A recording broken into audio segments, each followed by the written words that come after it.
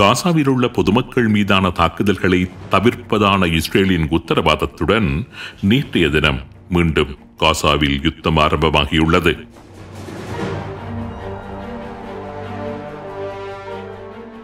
ஹமாஸுக்கும் இஸ்ரேலுக்கும் இடையே கடந்த ஒரு வார காலமாக இடம்பெற்று வந்த யுத்த நிறுத்தம் முடிவுக்கு வந்ததைத் தொடர்ந்து இஸ்ரேல் படைகளும் காசா மீது குண்டு தாக்குதல்களை மேற்கொண்டிருந்தன.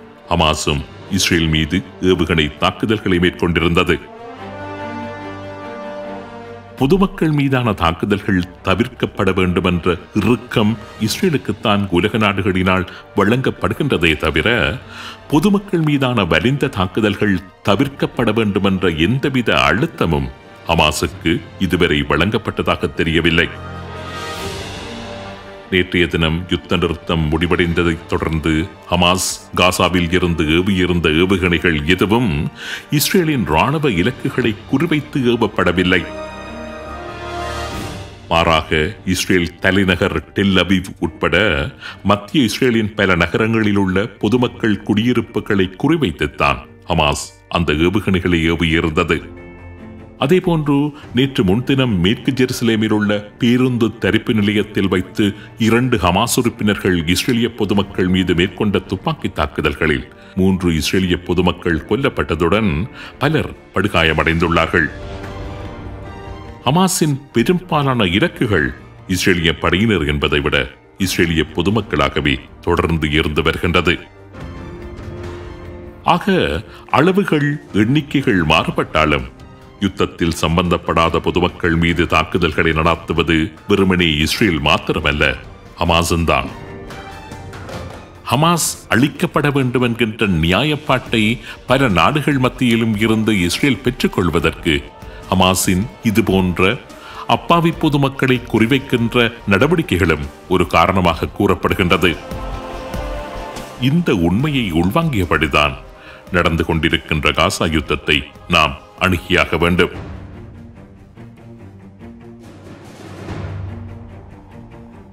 காசாவில் பொதுமக்கள் தாக்கப்படக்கூடாது என்கின்ற அமெரிக்கா உட்பட மேற்குலகு வழங்கி வருகின்ற அழுத்தங்கள். அடுத்த கட்ட யுத்தத்தில் பொதுமக்கள் இலக்குகளை கூடுமானவரை தாம் தவிர்ப்பதாக இஸ்ரேல் வழங்கி வருகின்ற வாக்குறுதிகள்.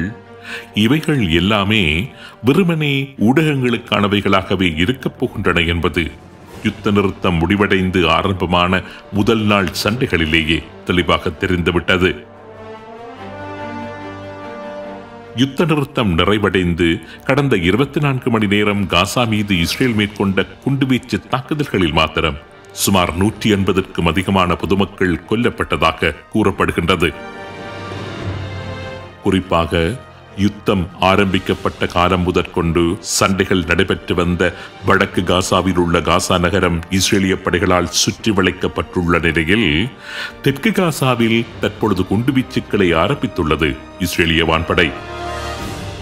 இன்னும் குறிப்பாக கூறப்போனால் வடக்கு காசாவில் இருந்து பலஸ்தீன மக்களை வெளியேறும்படி கூறி அவர்களை லட்சக்கணக்கில் தெற்கு காசாவுக்கு அனுப்பியிருந்த நிலையில் அந்த மக்கள் பெருமளவில் இடம்பெயர்ந்த தெற்கு காசாவின் ஒரு பெருநகரான கான்யூனிஸ் நகர் மீதே தற்பொழுது இஸ்ரேல் குண்டுவீச்சை ஆரம்பித்துள்ளது. கான்யூனிஸ் நகரை ஒரு யுத்த பிரதேசமாக பிரகடனப்படுத்திவிட்டு அந்த நகர் மீது குண்டுகளை பொழிந்து தள்ளிக் கொண்டிருக்கின்றது இஸ்ரேலிய வான்படை.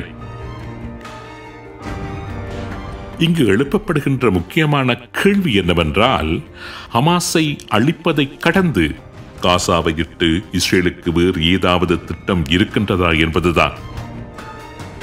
இஸ்ரேல் பொதுவாக கூறி வருவது போன்று ஹமாஸினால் பிடித்து வைக்கப்பட்டுள்ள பணிய கைதிகளை மீட்பது ஹமாஸை அழிப்பது என்பதை கடந்து காசாவில் இஸ்ரேலுக்கு வேறு ஏதாவது ரகசிய திட்டங்கள் இருக்கின்றனவா? இந்த கேள்வி ஏன் இங்கு எழுப்பப்படுகின்றது என்றால் வடக்கு காசாவில் உள்ள காசா நகரை இஸ்ரேலிய படைகள் தற்பொழுது நாலாபுரமும் சுற்றி வளைத்திருக்கின்றன இஸ்ரேலிய படைகளால் சுற்றி வளைக்கப்பட்ட நிலையில் நூற்றுக்கணக்கான ஹமாஸ் உறுப்பினர்கள் காசா நகரின் மத்தியில் நின்று இஸ்ரேலிய படையினருடன் மோதுவதற்கு தயாராக நின்று கொண்டிருக்கின்றார்கள். ஆனால் ஹமாஸ் உறுப்பினர்கள் நிறைந்திருக்கும் காசா நகரை அப்படியே விட்டுவிட்டு தெற்கு இஸ்ரேலில் உள்ள கான்யூனிஸ் நகர் மீது எதற்காக இஸ்ரேல் தாக்குதல்களை ஆரம்பிக்க வேண்டும்? ஹமாஸை அழித்தொழிப்பதுதான் இஸ்ரேலின் நோக்கம் என்றால் ஹமாஸ் உறுப்பினர்கள் நிறைந்திருக்கும் காசா நகரம் மீதல்லவா? முதலில் தாக்குதல் நடத்த வேண்டும். இதற்காக தெற்கு காசா மீது இஸ்ரேல் தாக்குதல் நடத்த வேண்டும். தெற்கு காசாவில் உள்ள கான்யூனிஸ் நகர் மாத்திரமல்ல தெற்கு காசாவில் உள்ள ஐந்து நகரங்கள் இஸ்ரேலினால் யுத்த பிரதேசங்களாக அடையாளப்படுத்தப்பட்டுள்ளன.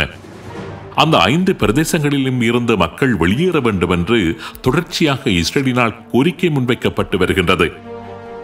அந்த ஐந்து நகரங்கள் மீதும் இஸ்ரேல் குண்டு தாக்குதல்களை மேற்கொள்ளப் போகின்றன. அந்த ஐந்து நகரங்களையும் இஸ்ரேல் தாக்கி அழிக்கப் போகின்றது. தெற்கு காசாவில் உள்ள பல்வேறு நகரங்கள் மீது இஸ்ரேலிய படைகள் தாக்குதலை நடத்துவதற்கு பல காரணங்கள் இருந்தாலும் காசாவை முழுவதுமாக நிர்மூலமாக்குவது என்பதும் இஸ்ரேலின் ஒரு மறைமுக திட்டமாக இருக்கலாம் என்று நம்பப்படுகின்றது. காசாவின் உட்கட்டமைப்புகளை. அதாவது காசாவில் உள்ள கட்டிடங்கள் வீதிகள் வைத்தியசாலைகள் பாடசாலைகள் உட்பட அங்குள்ள அனைத்தையுமே கூடுமானவரை தகர்த்து விடுவது கூட காசாவை குறிவைத்து இஸ்ரேல் தற்பொழுது மேற்கொண்டு வருகின்ற படை நகர்வின் திட்டமாக இருக்கலாம் என்று எண்ணத் தோன்றுகின்றது. இஸ்ரேலின் மிகவும் பிரபல்யமான ராஜதந்திரியான மார்க் ரெகேவ் பிரித்தானிய வானொலியொன்றுக்கு கருத்து தெரிவிக்கின்ற போது அக்டோபர் ஏழாம் தேதி இடம்பெற்ற தாக்குதல் போன்று மற்றொரு தாக்குதல் இடம்பெறுவதை தடுக்கும்படியான அத்தனை நடவடிக்கைகளையும் இஸ்ரேலிய படைகள் செய்யும் என்று உறுதியாக தெரிவித்திருந்தார். காசாவில் ஹமாஸை அழிப்பது முதற்கொண்டு பல விடயங்கள் அதில் அடங்கும் என்றும் அவர் கூறியிருந்தார். காசாவை நிர்மூலமாக்குவதும் அதில் அடங்குமா என்று அவரிடம் வினவப்பட்ட போது அனைத்தும் அதில் அடங்கும் என்று பொருள்பட அவர் தெரிவித்திருந்தார். இஸ்ரேலின் இந்த நடவடிக்கைக்கு பல அரபு நாடுகள் உட்பட மேற்குலக நாடுகள் ஆதரவு தெரிவித்துள்ளதாகவும் அவர் கூறியிருந்தார்.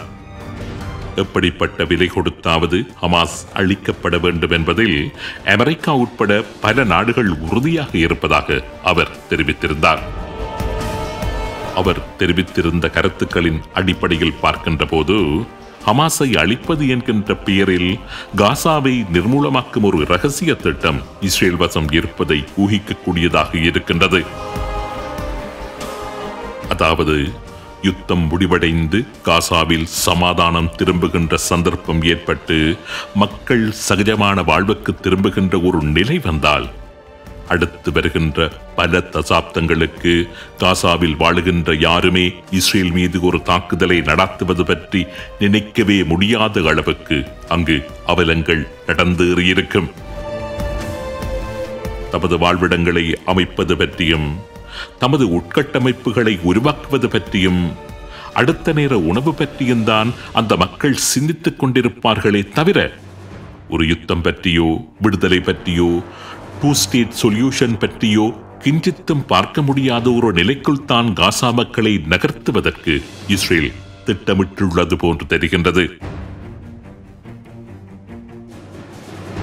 நாங்கள் இந்த நிகழ்ச்சியில் முன்னர் ஒரு தடவை இஸ்ரேலின் டஹியா டாக்டின் என்கின்ற கோட்பாடு பற்றி ஆராய்ந்திருந்தோம். இஸ்ரேல் படைகள் தமது யுத்தங்களின் போது தமது எதிரி தேசத்தின் உட்கட்டமைப்பை நிர்மூலமாக்குகின்றதான ஒரு கோட்பாடுதான் டஹியா டாக்டரின் இந்த டஹியா டாக்டரின் கோட்பாட்டை காசாவிலும் நடைமுறைப்படுத்த இஸ்ரேல் நகர்வெடுக்கின்றதா என்று பல தரப்புகளில் இருந்தும் தற்பொழுது சந்தேகம் எழுப்பப்பட்டு வருகின்றது. காசா நகர் நிர்மூலமாக்கப்பட போகின்றது என்பதை உறுதிப்படுத்தும் பல சமிஞ்சைகளை கடந்த இருபத்தி நான்கு மணி நேரத்தில் வெளியான பல செய்திகளில் இருந்தும் காணக்கூடியதாக இருக்கின்றது. கடந்த ஒரு வாரமாக இடம்பெற்றிருந்த யுத்த நிறுத்த காலத்தில் அமெரிக்கா சக்தி வாய்ந்த சுமார் நூறு பிஎல்யூ ஜீரோ நைன் பங்கபஸ்ட குண்டுகளை இஸ்ரேலுக்கு வழங்கியுள்ளதாக அமெரிக்க ஊடகம் ஒன்று செய்தி வெளியிட்டுள்ளது. மேலும் விமானங்களில் இருந்து தரை மீது ஏவக்கூடிய பதினையாயிரம் குண்டுகளையும் ஐம்பத்தி ஏழாயிரம் ஆட்லரி ஷெல்களையும் அண்மையில் அமெரிக்கா இஸ்ரேலுக்கு அனுப்பி வைத்துள்ளதாகவும் அமெரிக்காவின் அந்த முன்னணி ஊடகம் ஆதாரங்களுடன் செய்தி வெளியிட்டுள்ளது. ஒவ்வொன்றும் இரண்டாயிரம் ராத்தல் எடையுடைய நூறு பிஎல்யூ ஜீரோ நைன் பங்கபஸ்ட குண்டுகள். அதேபோன்று காசா மீது பொழியிருக்கின்ற அமெரிக்காவின் மற்றைய குண்டுகள் எல்லாமே காசாவை நிர்மூலமாக்கப் போவதில் மிகப்பெரிய பங்கினை வகிக்கப் போகின்றன என்பதில் சந்தேகம் இல்லை.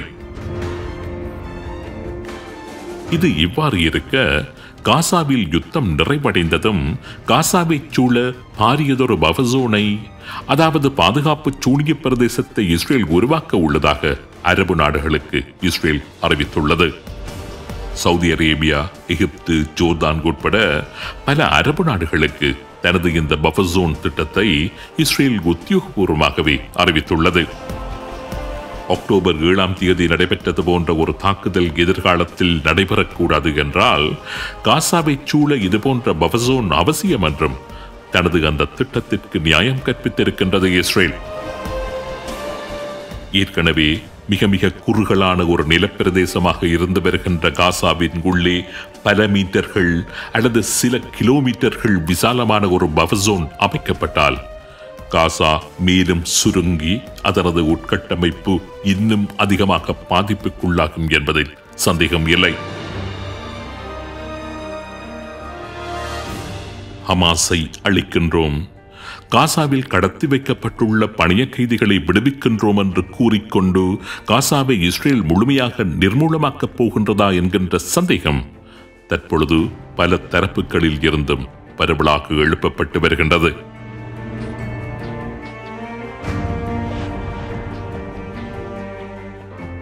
காசாவை குறிவைத்து அதனது உட்கட்டமைப்பை குறிவைத்து தஹியா டாக்டரின் கோட்பாட்டை இஸ்ரேல் நடைமுறைப்படுத்த துணிந்து விட்டதா என்கின்ற கேள்விக்கு அடுத்து வருகின்ற நாட்கள் பதிலை வழங்கும் என்று உறுதியாக நம்பலாம்.